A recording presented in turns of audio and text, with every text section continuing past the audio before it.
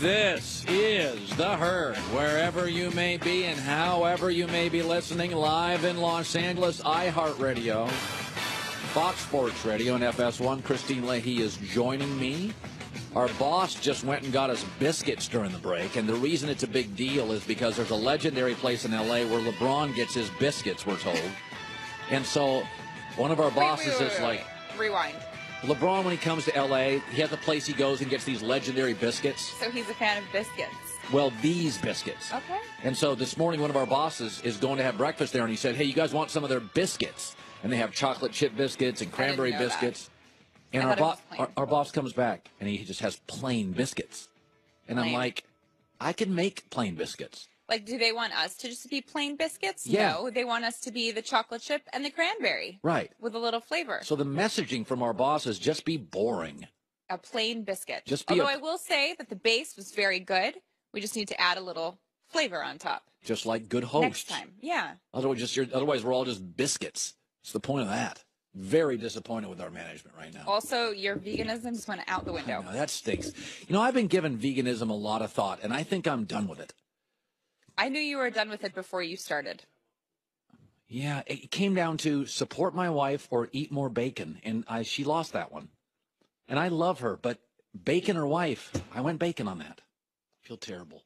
Anywho, let's get to the important stuff. Okay, so yesterday I gave out the NFC, and I predicted it, and I spent a lot of time on this stuff. It's really sad. I look at the miles you travel, I look at your acquisitions, uh, I look at your strengths and weaknesses. I am a big believer that best coach quarterback combo always wins the division you know, worst quarterback in a division, despite having a great roster, does not win a division. I go to all, I, I check out everything. We have somebody in our company that basically, that one of the things he does, he makes up this travel log. And if you're traveling over 30,000 miles, that's why I love Green Bay so much yesterday. They travel 8,000 miles. Other teams travel 32, 31. It matters by Thanksgiving. Teams get worn out. It's a physical attrition game. Dustin is amazing, and Dustin from research does our travel log. He's like he's like that guy that goes across Europe, Rick Steves, with a backpack, Amsterdam. They smoke pot here, but their food is terrific. That's what he does for us with NFL schedules. There's Dustin from research. So hi Dustin. Terrific. Put that backpack on and go to Amsterdam too. All right, here we go. Let's do some music. Let's Colin's pre preseason predictions. Let's start with the AFC West. Oakland, I'll have them winning the division at 10 and 6. Now they won 9 one possession games last year. They're not going to win all their one possession games this year. And I do think their defensive line is pretty average and it's missing one of their top linemen. And they have a lame duck stadium issue. A little bit like Dallas, I think they could be a better team but just have a worse record. I think Derek Carr is magical. Their offensive line is tremendous. They've got good skill people at running back, tight end, and wide receiver, and I think they win the division. The LA Chargers, I think, will surprise some people and go 9 and 7. Listen, they have a stadium transition issue, but there's somebody tougher that works harder than Philip Rivers, who will be a Hall of Famer. Joey Bosa and Melvin Ingram are going to be better in this new defensive scheme, I'm told. Wide receiver health, once again, their top draft pick at that position is hurt. They lost several close games last year, opposite of the Raiders, and I think they'll win a few of those. Nine and seven, Bolts. I have Kansas City pulling back at eight and eight, and you know how much I love Andy Reid.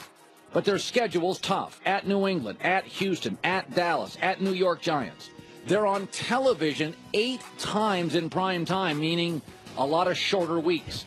And I thought Alex Smith showed signs of erosion last year with only 15 touchdowns and eight interceptions. They pull back a little, despite some stars I love and a coach I love at eight and eight. And finally, Denver. I was told two weeks ago the coaches there are concerned with Paxton Lynch. Did they whip on a first round pick? We have now had two reported stories. Things are not going well for Paxton Lynch. I think the defense is great, but in key spots it's aging, and they have the worst quarterback in division and the least experienced head coach. That's a bad combo. They finished last at six and ten. Now I'm going to go to the AFC North. I think Pittsburgh 11 and 5, and I was cautious here. They could do better because the division's eroding. The Bengals coach will miss time, they're fading. Baltimore is just okay, and Cleveland's in a rebuild mode. Big Ben is still way above average, and the players play hard for Mike Tomlin. I think they may have the best weapons in the NFL along with Atlanta offensively. And their defense is super talented, young, but they've gained valuable experience. Pittsburgh 11-5 wins the division. I'm going to go Cincinnati at 8 and 8. Andy Dalton's a B quarterback, and this is a B record.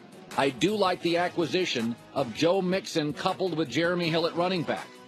But their offensive line is the weakest. Yep, even weaker than Cleveland's in this division. I have them at 8 and 8.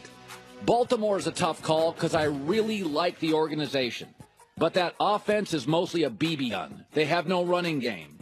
The defense will have to win for them and might. They added Brandon Carr at corner and Tony Jefferson at safety, and both guys can play. Their front seven strong. CJ Mosley is a tremendous inside linebacker. They're going to be in low scoring games, but I don't think they have enough firepower in a firepower league to do better than 8 and 8. And finally, Cleveland. It's easy to say they're bad, but I do like some of the things they're doing. I just have no idea who their quarterback is. They've got some interesting young wide receivers, and they have done a nice job building their offensive line. But there won't be a single game they play this year where they'll have the better quarterback. I have them at 5 and 11. Let's go to the AFC South, a very, very interesting division. Tennessee winning the division was not a tough call for me. Marcus Mariota's got good weapons, good O-line, and nice running backs. And he had 26 touchdowns and nine picks. The kid's the real deal. He just needs more time. Their defense with a really, really a sieve on the back end. But they added a really good cornerback in Logan Ryan from the Patriots and another one to boot. Their schedule's pretty easy. They get Jacksonville twice. They may get Indianapolis once without Andrew Luck. They do play the Seahawks, but at home. And they get San Francisco and the Rams. Pretty easy choice here. Tennessee at 11 and 5. Indianapolis is the toughest team in the division for me to predict because I just don't know if Andrew Luck's going to play in the first month. I think he will play eventually. Indianapolis in second place at 10 and 6. They have a new GM who loaded up in the secondary during the draft, and I liked his moves. I do think their offensive line improved last year. I think their running game improved last year. And I think their defense is young and getting better, especially in the back end. But I don't know where Andrew Luck's playing and when he's playing, so I put him in second place. Houston's always been tricky for me because I love their roster, but Tom Savage is the quarterback. He's never thrown a touchdown pass in the NFL. I repeat, he's never thrown a touchdown pass in the league he now plays. I have him an 8 and 8. Their schedule's pretty brutal. At New England, at Seattle. They have to play Baltimore there on Monday night. That'll be emotionally tough. And they also face the Steelers. They have a tremendous defensive front, but they have for years, and they still never advance to where they should. I've got them 8 and 8, maybe low, but that's where I have them. Jacksonville, I think they have talent, but they just don't have it at quarterback, where Blake Bortles has become an interception machine even in the preseason. Doug Marrone's the head coach, could be good, I don't know. I think the defense is talented. Leonard Fournette at running back, I can't wait to watch him, but I've been overbilling and overselling this team for years. I got him at 5 and 11. And finally, the AFC East. New England's good. Let's not argue that. This roster veterans, and youth is built to win it all. Offensive line and running back are good, not great, but good enough. Their schedule's not easy. They have to go to Pittsburgh and to Oakland. They play Carolina and Atlanta. They go to Denver. They've always struggled there. But this is the best coach and the best quarterback and the best owner and the most stability in a division with virtually none. It is very possible they will go 6 0 in division. Brandin Cooks acquisition at wide receiver. It won't be Randy Moss coming to New England, but he could be a 12 to 1300 yard acquisition. This roster is built to win the Super Bowl, and I think they'll get there. 14 and 2. I've got Miami at 9 and 7. Now they were 10 and 6 last year. I'll pull a game back. But Jay Cutler, let's be honest, Ryan Tannehill last year was 19 touchdowns and 12 picks. I think Cutler can do that. Their defensive line has Ndamukong Suh and Cameron Wake. I love them both. Their schedule early is pretty easy, giving Jay Cutler the opportunity, Tampa, L.A., at the Jets in New Orleans. Jay Cutler can slowly move in and get the feet under him. And Jay Ajayi is a running back who is an absolute horse who they can lean on early along with that schedule and defense. Miami at 9 and 7 buys for a playoff spot. I'm going to bet Buffalo at 7 and 9. They have a tremendous run blocking offensive line. And their running game with ball control makes Buffalo dangerous. But Sammy Watkins can't stay healthy. Tyrod Taylor's fine, but not spectacular.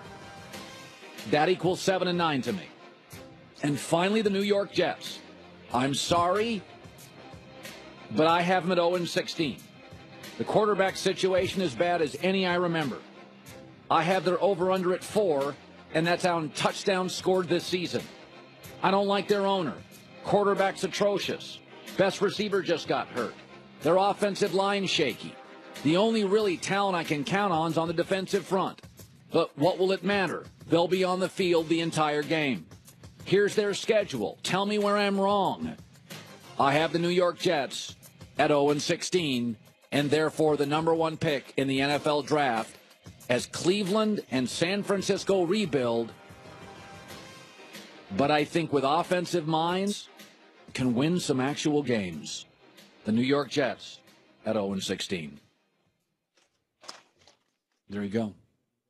Very proud of that. Feel very Your strong. predictions. I really am. Are, would you feel comfortable telling people to go put money on those predictions? I never tell people where to put their money, but I feel of all the divisions, the AFC East, I feel most strongly about. Um, I think New York, I think the Jets are the worst offense I have seen. In fact, the only thing I can compare them to would be the Rams last year. Um, and the Rams had a star running back and a couple of O linemen I sort of liked, and Tavon Austin. Um, it is hard to imagine them winning a game. I feel like the same way I do about Conor McGregor. I don't think he's going to win a round. I don't think he's. I don't think he's going to land a punch. So when I, even though it sounds harsh, that's what I really truly believe. And I think New England is, with all the chaos in that division. Now, listen, the, the Jets are tanking. Uh, Buffalo's kind of C plus at quarterback. I, I actually think Miami. I think they're going to be kind of what they were last year. A team that doesn't have a chance to win the Super Bowl. Good defensive players, stud running back, easy early schedule. And I think you'll look up at the end of the year and Miami's in a playoff chase. I don't think Jay Cutler is is is I think he and Ryan Tannehill feel about the same to me. They really do. I think obviously Tannehill was more mobile, but he doesn't throw a very good deep route, and Jay Cutler does, and I think it's kind of the same quarterback. So there you go. This Sunday, don't miss Warren Moon's going to be joining us live from Seahawk Camp. Excited for that, my hometown. This Sunday, don't miss the new epic series Get Shorty. It's a new original series inspired by the best-selling novel from Elmore Leonard. Get